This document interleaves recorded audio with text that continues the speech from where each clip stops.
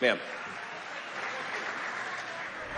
congratulate him to say he was along for the ride after he was chosen as Vice President Harris. Could you just repeat the beginning of that? I, I missed the first one. Earlier today, you said that you called Governor Walz, so clearly at least part of you believes that he could be the vice presidential candidate. Are you saying that you will not debate him, or will you agree to hit, go on the debate stage with Tim Walz? No, I absolutely want to debate Tim Walz, but I want to debate him actually after he's actually officially the nominee.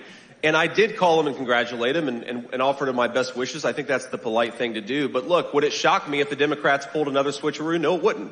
So look, we're going to wait until they actually nominate Kamala Harris and Tim Walz before we do any debates. And then of course we want to have a robust debate again because we believe the American people have the right to have their political leaders try to persuade them.